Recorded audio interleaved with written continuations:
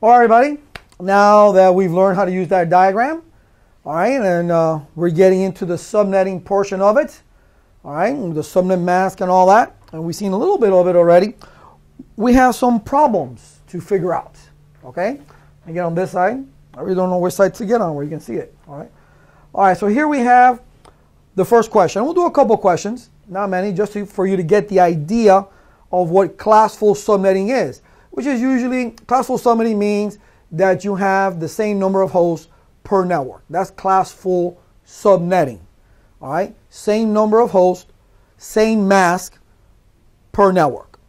Okay, so here it says, what valid host range is the IP address 172.16.10.22 with that particular mask 255.255.255.240 a part of? Now, when I'm asked a question like this, how do you attack a question like this? Well, you look at the subnet mask, the key, right? So it's 240. So you get this 240. It's okay. So I'm focused on the last octet. So let me draw my diagram. X dot X, not Z. What is that? Uh, X dot X dot X dot one, two, three, four. Line one, two, three, four. How did I know? How did I know that it was going to be that right there? Because 240 is four bits on. That's where the bit to decimal table, table helps you. So it's 240. I'm on the last octet. This bit value right here is 16. It's 16. All right? Because 1, 2, 8, uh, 1, 2, 4, 8, 16. That's our increment. So our focus is that 22. So how many times do we need to increment by 16 to get to 22 in the last octet? I know that it's only going to be once, but let's see how you would do that. So you would say, okay, x dot x dot x, nope, 16. No, it is the last octet, I'm sorry. X, last octet, right? Yeah, 16. And then, okay, and if I increment again, is x dot x dot x dot 32. Well, the number I'm looking for is 22, which is in the last octet. So I know it's not going to be in the 32 network. It's going to be in the 16 network. And they're asking for the valid host range. So what do I do? I sum up these video these bits right there, which is always one less the increment the network increment. So it's 15. That summation, that addition, 15 plus 16 is 31. X at X X, 31. So what's in between 16 and 31? 17 and 30, right? After 16, we have 17. Before 31, we have 30. There you go. Even easier, since I incremented twice, what's 1 less 32? 31.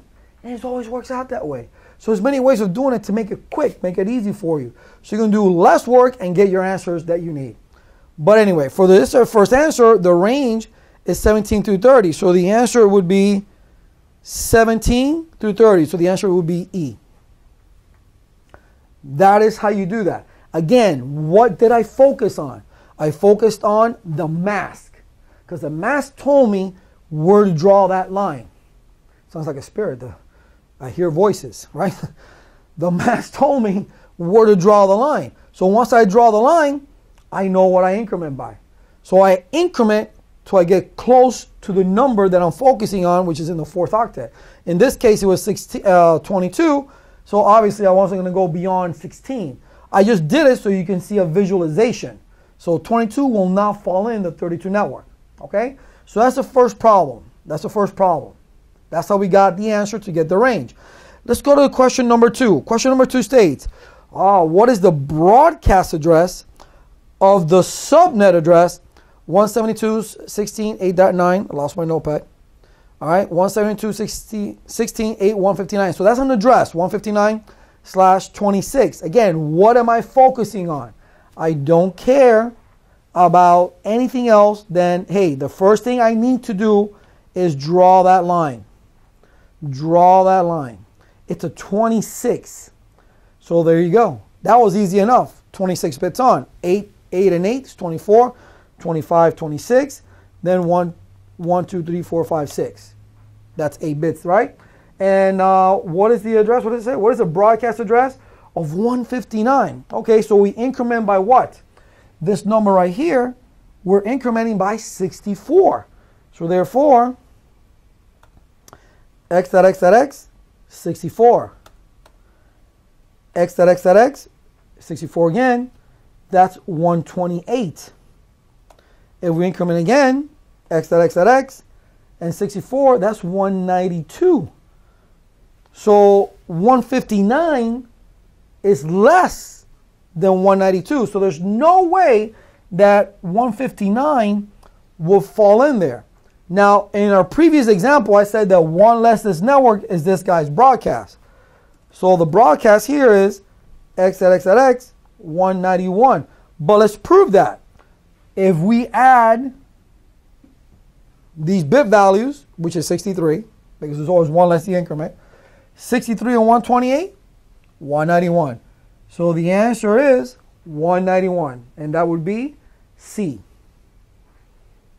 Again, the pray that these are the type of questions that you're going to get asked when it comes to IPs. But I can tell you right off the bat that they're not. But let's do one more question. Let's do one more question just so you can get the hang of it. Let's move this up a little bit. Let me use the tools of the trade. Let's go here. Here we go. Let's use this one. Question number four. Let's get the notepad. Okay, up here. Question number four. That's the one we're going to do. Question number four. And let me erase all this. All right. So now, in question number four, they don't even give you any, any numbers or mass. They're looking for mass. But look at the question. If you wanted to have 12 subnets with a Class C key Class C network ID, which subnet mask would you use? Okay, a Class C network ID, right? That would mean x.x.x. Because Class C, class full boundary, that means the first three octets.